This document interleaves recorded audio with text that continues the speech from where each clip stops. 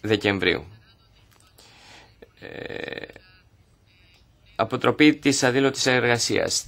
Ε, ας δούμε αν μπορούμε να τελειώσουμε αυτή τη συζήτηση σύντομα. Υπεύθυνη κυρία Κούνεβα. Ευχαριστώ Πρόεδρε. Αγαπητοί συνάδελφοι, η αντίλωτη εργασία πλήττει κυρίως τις γυναίκες όσον αφορά τη δουλειά στο σπίτι και σε μεγαλύτερους ανθρώπους.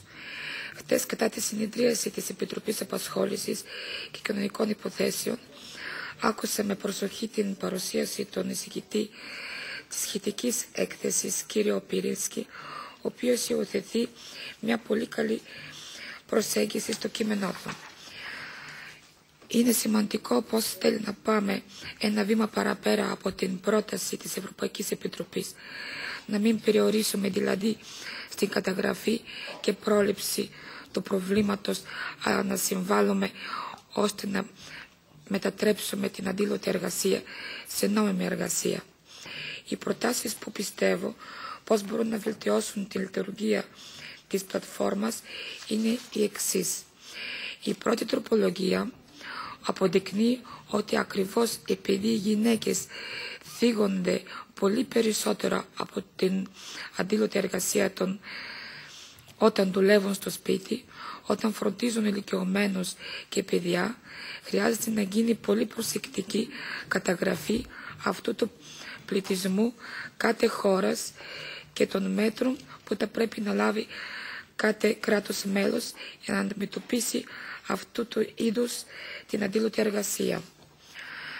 Με τις τροπολογίες 2, 3, 5 και 9 προτείνεται να έχει ρόλο να συμμετέχει και να λαμβάνονται υπόψη οι θέσεις του Ευρωπαϊκού Ινστιτούτου για την ισότητα των φύλων.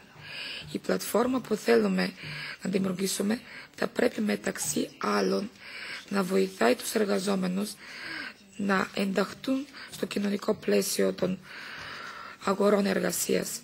Οι γυναίκες αντιμετωπίζουν πολλά συχνά προβλήματα όταν διεκδικούν τυπικές θέσεις εργασίας. Έτσι αναγκάζονται να δεχτούν θέσεις αντίλωτη, αντίλωτης και επισφαλής εργασίας και να, και να επιβιώσουν και μπορούν να μεγαλώσουν έστω και με περιορισμένα μέσα τα παιδιά τους. Η συμμετοχή του Ινστιτούτου στην πλατφόρμα διασφαλίζει πώς θα λαμβάνεται υπόψη και οι ειδικές πτυχές του φαινόμενου της αντίλωτης εργασίας όταν αφορά τις γυναίκες. Με την τροπογία 4 εισάγουμε στις θεματικές ομάδες εργασίας της πλατφόρμας τα ειδικά ζητήματα που αφορούν τις γυναίκες. Παράδειγμα, όπως είπαμε και πιο πριν, μελέτη της παροχής οικιακών υπηρεσιών, η φροντίδα παιδιών και των ηλικιωμένων. Η εργασία αυτή συχνά δεν ελέγχεται, έχει επιπτώσεις στη κοινωνική ασφάλιση των γενικών. Η τροπολογία 6 είναι η σημαντικότερη. Προτείνει την υιοθέτηση από την πλατφόρμα ενός σαφούς ορισμού για την αντίλωτη εργασία. Ο ορισμός βάσει το οποίο δουλεύουμε χρονολογείται από το 1998. Αν θέλουμε η πλατφόρμα να είναι αποτελεσματική και χρήσιμη, θα πρέπει ο ορισμός αυτός να επαναξιολογηθεί. Χρειαζόμαστε όταν έναν ορισμό που περιγράφει πληρέστερα το φαινόμενο και μπορεί να ακολουθεί την εξέλιξη των παρατυπίων.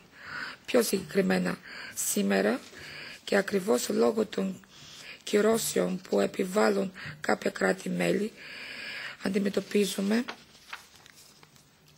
το φαινόμενο της μερικής αντίλωτης εργασίας. Δηλαδή, κάποιοι εργοδότες δηλώνουν μεν τους εργαζόμενους τους, αλλά όχι για όλες τις ώρες εργασίας, ούτε για την πραγματική απασχόλησή τους. Αυτά όχι μόνο διονύζει τα προβλήματα που θέλουμε να, να αποφύγουμε, αλλά έχει και σαν αποτέλεσμα την βελτίωση των εθνικών δικτών με τρόπο πλασματικό. με τις τροπολογίες 7, 8, 10 υπενθυμίζουμε πως το φύλλο πρέπει να συμπεριληφθεί κατά την αξιολόγηση του φαινομένου της αντίλωτης εργασίας.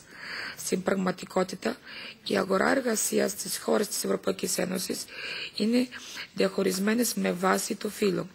Γυναίκες απασχολούνται συχνά σε τέτοιες εργασίες που δεν είναι μόνο αντιλώτες, αλλά και μικρότερες διάρκειας, με λιγότερες ώρες εργασίας και με ελάχιστη αμοιβή. Αυτό δεν επιτρέπει σε αυτές τις γυναίκες να είναι οικονομικά ανεξάρτητες. Λίγα στοιχεία είναι ωστόσο διαθέσιμα για να υποστηριχτούν πολιτικές που θα μπορούσαν να αντιμετωπίσουν αυτό το ζήτημα. Υπάρχει δε και έλλειψη στοιχείων σχετικά με την θέση των γενικών μεταναστών. Αν θέλουμε να ενισχυθεί η απασχόληση και να διασφαλιστούν τα εργασιακά και κοινωνικά δικαιώματα των γυναικών, πρέπει πρώτα να διασφαλίζουμε πώς μπορούν να εργαστούν με ασφάλεια και αξιοπρέπεια. Ευχαριστώ πολύ για την προσοχή σας.